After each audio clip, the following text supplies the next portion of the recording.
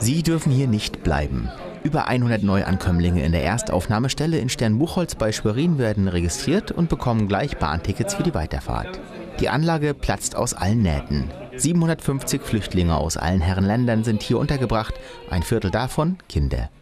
Es wird in 16 Sprachen gesprochen. 29 Mitarbeiter sind restlos überfordert. Jeder dritte davon hat Migrationshintergrund und versucht, zumindest seine Sprachkenntnisse einzusetzen. Mehr ist oft wohl kaum möglich.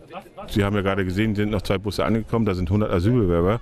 Die müssen jetzt alle untergebracht werden. Also geht das teilweise bis 21, 22 Uhr. Die müssen registriert werden. Wir haben ja auch ein bestimmtes Maß. Dann ist irgendwann mal Schluss hier an, an Betten und an einer, einer, einer, einer Einrichtung, die wir nicht mehr weiter höher ziehen können. Ne?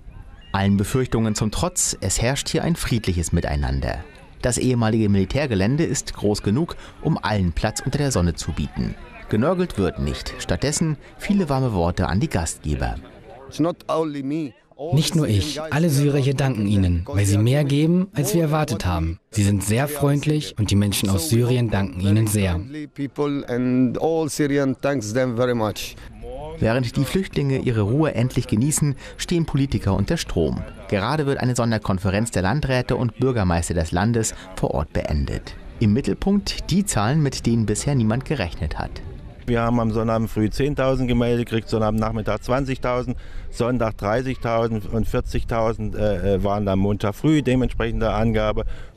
Mehrere Tausende vom Leid getriebene Menschen kommen nach Deutschland und setzen auf diese beschwerliche Reise ihre einzige Hoffnung.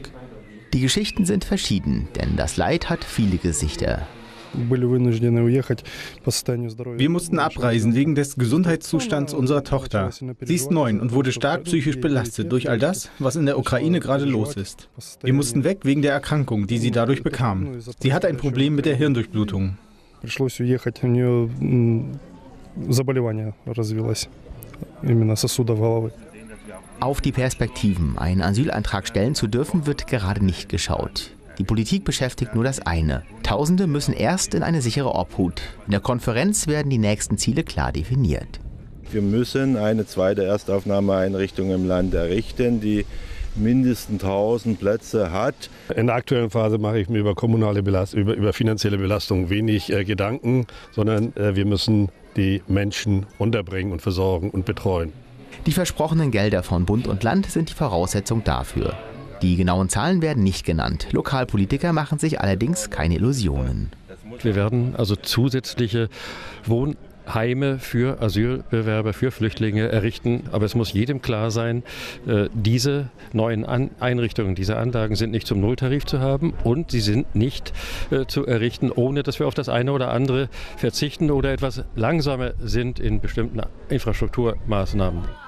Was auf sie noch zukommt, wissen die Flüchtlinge nicht. Sprachkurse, Ausbildung, Jobsuche, all das gehört noch in die ferne Zukunft. Geplatzte Träume und verlorene Hoffnungen können in diesem Paket wohl auch vorkommen. Doch bei den meisten steht fest, sie wollen kämpfen.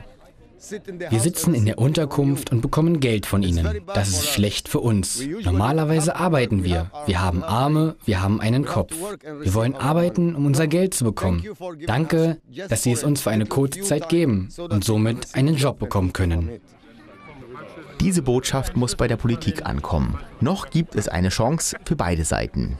Inshallah, so könnte momentan der Spruch des Tages sein. Im arabischen Sprachgebrauch heißt es schlicht und einfach, hoffentlich.